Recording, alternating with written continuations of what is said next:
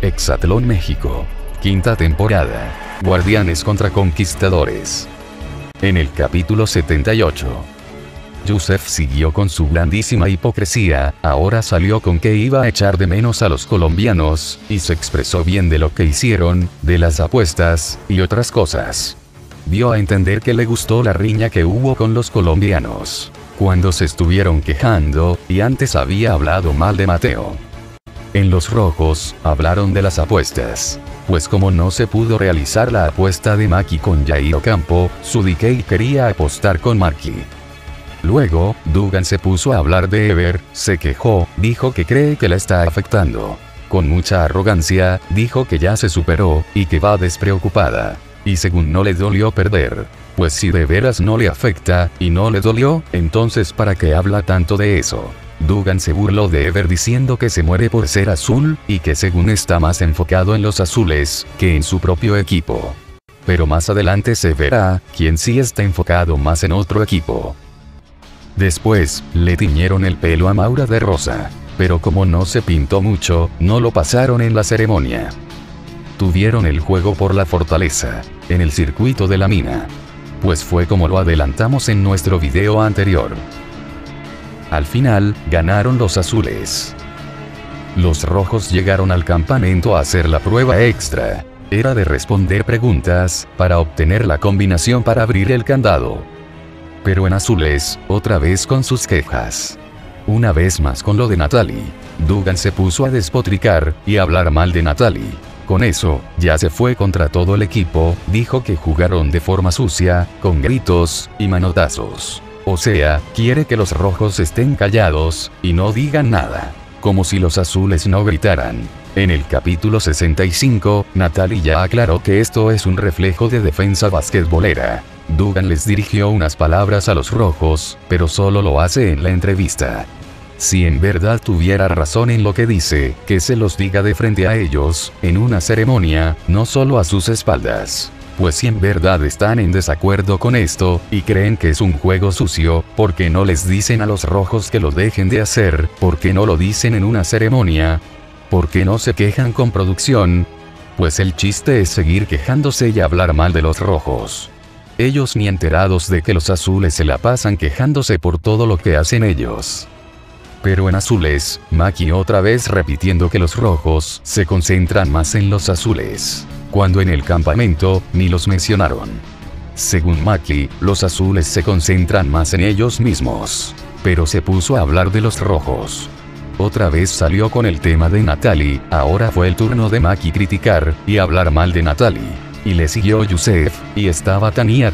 Maki dijo que no pueden hacer realmente nada para que los rojos cambien. Sin embargo esto es falso, sí pueden. Podrían decirles que lo dejen de hacer, quejarse con Rosique, o con producción, pueden hablar para que eso cambie. Pero solo se la pasan criticando, y hablando a sus espaldas. Aquí se pudo notar, quiénes son los que en verdad, se enfocan más en lo que hace el equipo contrario, que en el suyo. Mejor que Maki hable de la discusión que tuvo con Koke, pues no que se enfocaban más en su equipo. En casi todo el capítulo, los azules solo se la pasaron quejándose hablando mal del rival, despotricando, en lugar de enfocarse en ellos. Pues los rojos deberían renunciar todos, para que les pongan otro equipo azul, a ver si también se quejan igual que los que hay ahorita. Pero si no estuvieran estos rojos, no tendrían de quién estar hablando los azules pero ya el chiste de esta temporada es hablar mal de los rojos, aquí en el capítulo, y también en los otros de TV Azteca. De esto trata esta temporada, porque en la competencia, los rojos se la pasan en mala racha. Compitieron por la supervivencia, en el circuito de fuerza, con el tiro de derribar totems lanzando estafetas. Por cierto, también aquí, Marisol y Coque se volvieron a quejar de los rojos, con que se amontonaron, y gritan. O sea, quieren que los rojos estén en sus bancas, estén callados, no apoyen a sus compañeros, y solo griten los azules. Por eso, si tanto se quejan, ya que les digan de una vez de frente que no lo hagan, pero como no tienen razón, pues ellos también gritan para apoyar a sus compañeros, y dar instrucciones, solo hablan a sus espaldas. Si los rojos se quedarán callados, los azules ya no tendrían de quién quejarse, ni tendrían pretexto de perder puntos. Por eso no les dicen nada, para que en caso que pierdan algún punto, digan que fue por los rojos, y se quejen de que juegan sucio, es el cuento de nunca acabar. Se comprueba que los azules, se fijan más en lo que hace el rival. La mayor parte del tiempo del programa, se la pasan hablando de los rojos. Rosique estuvo recalcando la superioridad de los azules, y resaltando que en los rojos, ya solo quedan Alan, Jairo Campo, Natalie, y Marcela, como originales que iniciaron esta temporada. En cambio, en las atletas azules, solo les han eliminado a Yareli, y los refuerzos que han puesto en su lugar. Siempre le han puesto una refuerzo que resulta ser la de menos puntos, y sale. En hombres de originales, solo les eliminaron a Jonathan, a Osiris, y sus respectivos refuerzos. Tal como lo anticipamos, así se está cumpliendo. Pues la llegada de su decay no representó una gran diferencia, ni de gran ayuda a los rojos. Ni en puntos, ni en las cosas que hacen. Ya que es posible que sí le esté afectando que no está el pato Araujo. Pues los azules siguen quejándose de ellos, tal vez hasta más. Los rojos siguen perdiendo igual.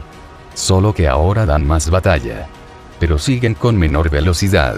Pues no es lo mismo que les pongan de refuerzos a leyendas que se entrenaron para entrar en esta temporada, como Yusef.